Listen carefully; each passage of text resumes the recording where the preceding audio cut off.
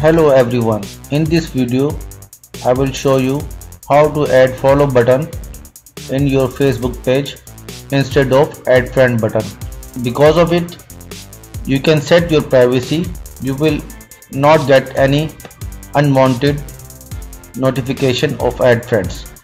First of all if you did not subscribe my channel please subscribe it and press the bell icon. For this purpose go to your Facebook page and click on top right corner of your page. Then click on settings.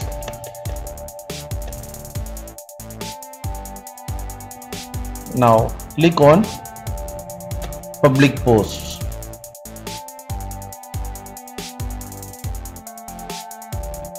Now you have three options. First who can follow me. Set as as public.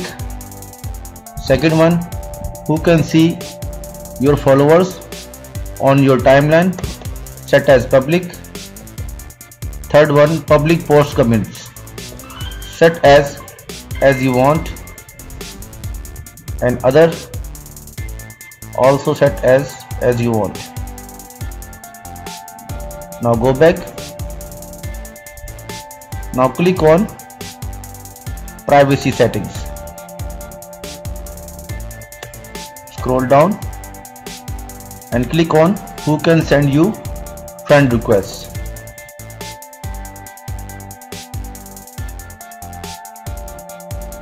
Now set it as friends of friends. Now done. Press back button. Now go back now I will show you my Facebook page from another device.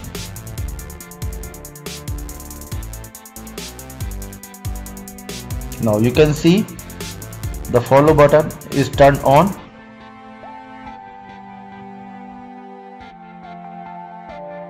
If you like this video please comments and share it. And don't forget to subscribe my channel. Thanks for watching